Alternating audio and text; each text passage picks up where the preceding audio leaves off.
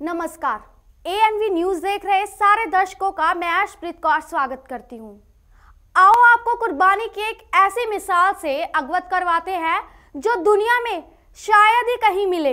21 दिसंबर, श्री गुरु गोविंद सिंह जी ने परिवार सहित आनंदपुर साहिब का किला छोड़ा। 22 दिसंबर। श्री गुरु साहिब अपने दोनों बड़े पुत्रों सहित चमकौर के मैदान में पहुँचे और गुरु साहिब की माता और छोटे दोनों साहिबजादों को गंगू नामक ब्राह्मण, जो कभी गुरु घर का रसोईया था, उन्हें अपने साथ अपने घर ले गया।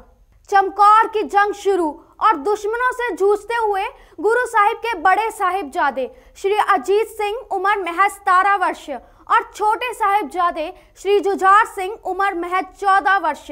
अपने 11 अन्य साथियों सहित महजब और मुल्क की रक्षा के लिए वीर गति को प्राप्त हुए। 23 दिसंबर, श्री गुरु साहिब की माता, श्री गुजर कौर जी और दोनों छोटे साहिबजादे गंगू ब्राह्मण के द्वारा गहने एवं अन्य सामान चोरी करने के उपरांत तीनों को मुखबरी कर मोरिंडा के चौधरी गनी खान और मनी खान के हाथों गिरफ़्तार करवा दिया गया और गुरु साहिब को अन्य साथियों की बात मानते हुए चमकौर छोड़ना पड़ा। 24 दिसंबर, तीनों को सरहन पहुँचाया गया और वहाँ ठंडे बुर्ज में नजरबंद किया गया। 25 और 26 दिसंबर, यानी कि आज, छोटे साहेब जादो को नवाज़ वज़ीर खां की अदालत में पेश किया गया और उन्हें धर्म परिवर्तन करने के लिए लालच दिया गया।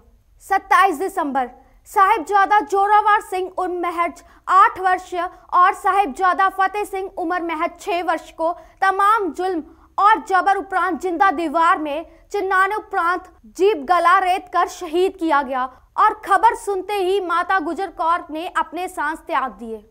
अब निर्णय आप करो कि 25 दिसंबर को क्रिसमस को त्वजा मिलनी चाहिए या कुर्बानी की अनोखी और शायद दुनिया की इकलौती मिसाल को। इस शहीदी सप्ताह से सभी को अवगत कराते हेतु इसे अधिक से अधिक शेयर करें ताकि लोगों को सिख धर्म की बुनियाद का पता चल सके। धन्यवाद।